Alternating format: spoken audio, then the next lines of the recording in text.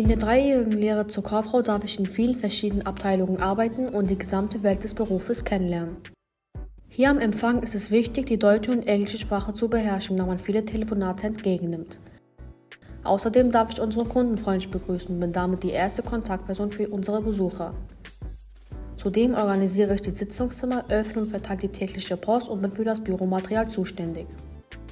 Ich darf in vielen weiteren Abteilungen meine Lehrzeit verbringen. Darunter gehört das Marketing, die Buchhaltung, der Einkauf, der Kundenservice und die Personalabteilung. Im Marketing lerne ich den Umgang mit den Marketinginstrumenten und darf unsere Produkte dem Kunden näher bringen. Im Einkauf lerne ich Waren zu beschaffen, dazu gehört auch die Kontrolle der Anlieferung. In der Buchhaltung lerne ich die Buchführung der Firma kennen.